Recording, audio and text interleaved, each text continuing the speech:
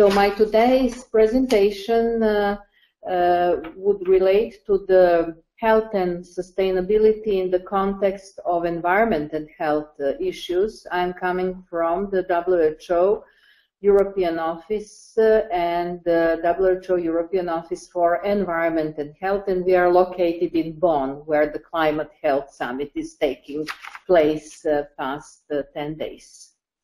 So, can we start with the presentation? First slide, please. Uh, what is sustainability?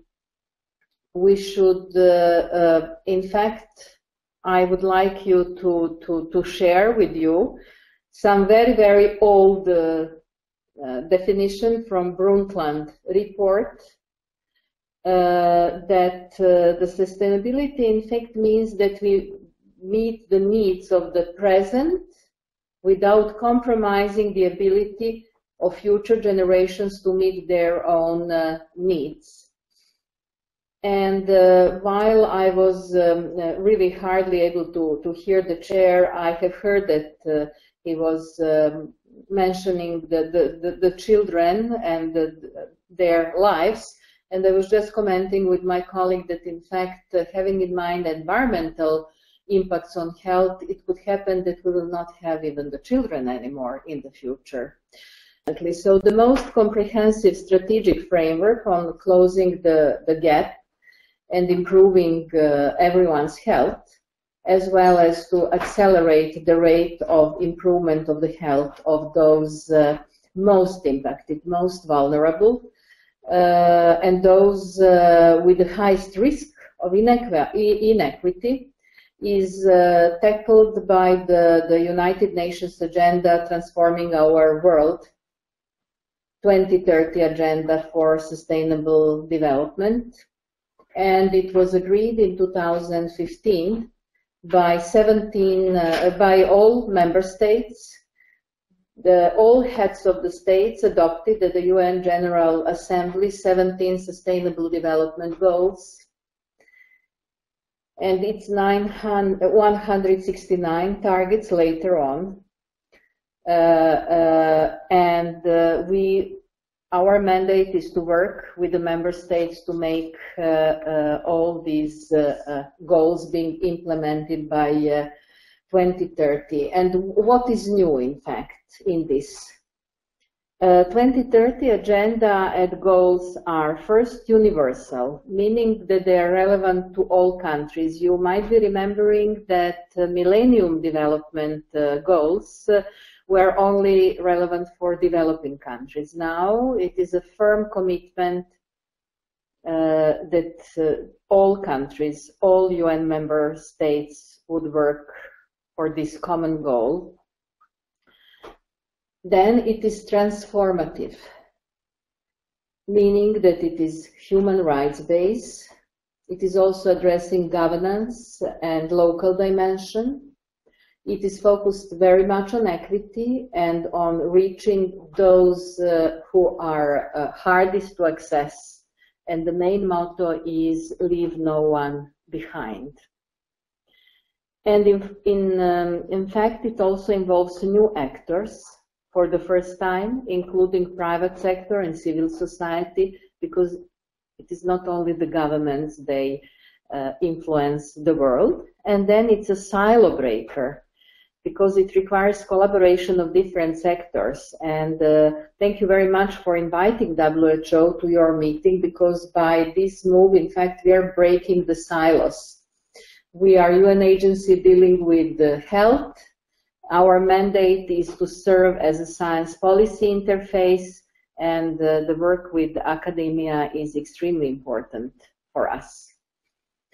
At the slide number number uh, uh, five, uh, health and well-being are presented around the goal three. The goal SDG goal three is re is related to health. It has nine targets, and uh, health and well-being are an outcome, a determinant, and an enabler of all the goals. And in fact, never before has health and well-being for all at all ages placed uh, at the center of global uh, agenda. You know, in, um, in, in the approaches applied on uh, Rio Summit and beyond, on Brundtland Commission before that. Uh, it was, in fact, uh, mainly addressing to three pillars of society, three types of activities, social, economic, and environmental. This is, of course, important and uh, it is uh, taken over, but uh, a much more, more comprehensive and inclusive approach is uh, applied, including really, really health uh, and showing uh, that, that the world is committed to, to ensure that all human beings can fulfill their full potential in dignity and equality and uh, in a healthy environment. Uh, in fact, uh, what needs to be done? What does that mean? What exactly needs to be done and how this positioning of the health is uh, is uh, uh, reflecting all what is performed in other sectors, including including education. Uh, having in mind that because we, we, without the healthy people, healthy, healthy children and healthy populations, uh, uh, also the progress in education cannot be made. Uh, it is also very much linked with the status of the environment. And we have made a good uh, progress in many areas related to the health, like um, in life expectancy as one of the important uh, uh, uh, indicators. women health, children health, adolescent health, prevention and control of communicable and non-communicable diseases, but this progress needs to be sustained and, and strengthened. however, the pace of change is slow in some areas. Uh, for example, sexual and reproductive health, mental health, disabilities, violence, injuries, just to mention a few. I am reflecting to the situation in WHO uh, uh, European region. Uh, so uh, we have to finish the unfinished businesses on Millennium Development Goals. Let me inform you that the WHO European region is the only region which did not achieve Millennium Development Goal on sanitation. And yes, you, you hear well. So we still face with a very, very classical challenges. And we have uh, uh, nowadays still schools, uh, children, all types of children, caring facilities, including schools and hospitals, healthcare facilities, without access, any access to water, sanitation, and electricity. So which progress then we are talking about, for example, in education and, and health, if we have such a situation. We have such a few commitments from before, uh, past decades, from the ministries in charge of that uh, environment and health, but uh, the progress is uh, not yet there. Meanwhile, we continue to face many global challenges like antimicrobial resistance, large-scale migration, changing climate, civil unrest, emergencies uh, that we have to tackle, and of course uh, the children, young people, the students are most exposed to that, uh, and uh, uh, it happens quite often that uh, they cannot they cannot in fact fully fully enroll and uh, have an appropriate uh, education. Not to mention gender equity and human rights. Uh, they are not always mainstream throughout all, all actions.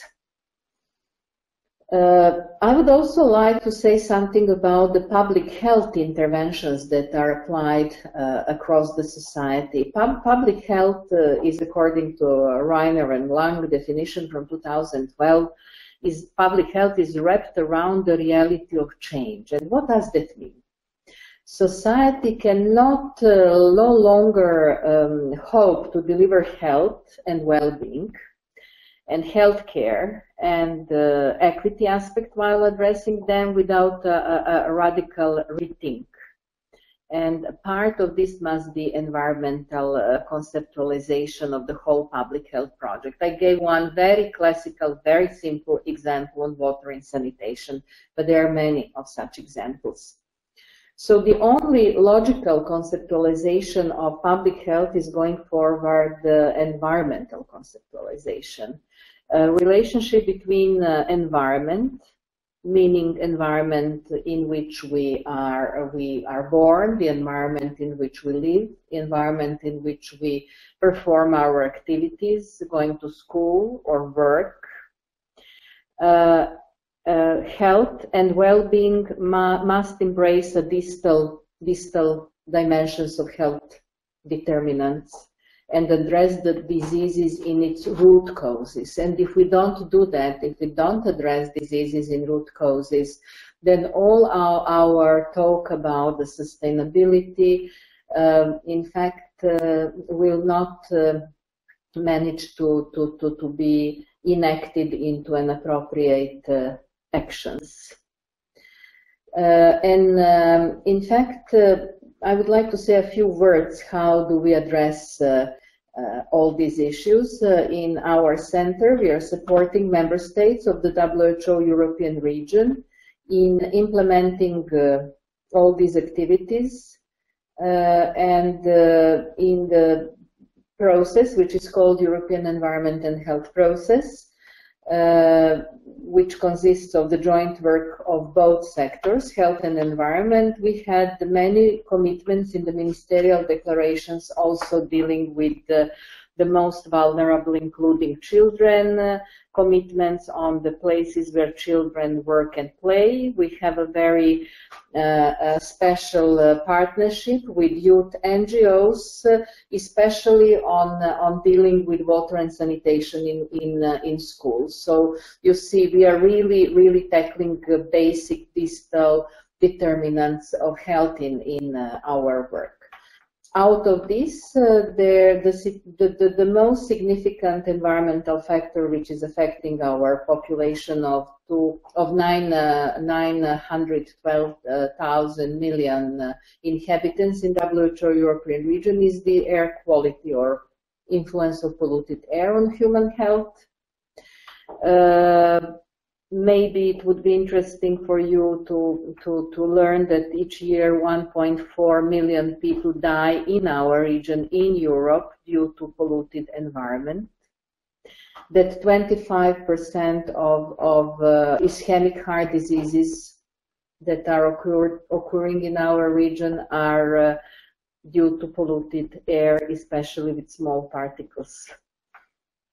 I have already mentioned the, the way we are addressing these issues, and uh, uh, I would mention Ostrava Declaration, which is the last ministerial declaration uh, adopted this year in June in Ostrava, which has uh, uh, six priority areas for action recognized by both by the ministers of health and the ministers of the environment and these are air pollution, water sanitation and hygiene, chemicals, waste and contaminated sites, climate change, cities, urbanization, and environmentally sustainable health systems. So in order to, to make uh, these promises making some effect, uh, it is extremely important uh, that uh, we define policy action areas uh, uh, to increase equity in, in, uh, in, health, and I would like to point out to some influencing uh, uh, factors, like uh, in addition to the quality of living and working environment, this is also personal and community capabilities and community resilience, overall community resilience employment and working conditions, and uh, social protection. Uh, which are the four main enablers for Sustainable Development Goals implementation? Uh, in fact, um, the first and the most uh, important is investment for health. Investment for health, which is not only investing in health systems, but it's also investing in healthy schools, healthy hospitals, uh, healthy living and working environment. This is investment in health. Not to use coal and wood in the in the wood uh, or the coal stove in in some room, uh, and uh, to pollute the air uh, where the children are learning not to have the facilities without the access of safe water and sanitation. So all these investments are investments for health, not only investments in, in, um, in the brand new hospitals and medicines. Second enabler is multi-partner cooperation, which aims coherent policies, and I have mentioned a few examples, shared accountability, and exchange of information and experiences. And uh, I would say this is what we are exactly doing now. Also, uh, we agreed to join uh, forces uh, in our region with the regional UN agencies and we work together with them. And uh, we identify, in fact, uh, these four priority areas, health through the life course, starting from the children, which are the most vulnerable, communicable diseases, universal health coverage, and migration. And uh, let me come then to the third enable, enabler is innovation, global interconnectivity, and social mobility. It is extremely important for health and well-being, but it is also important uh, uh, um, for uh, the development of all other actions.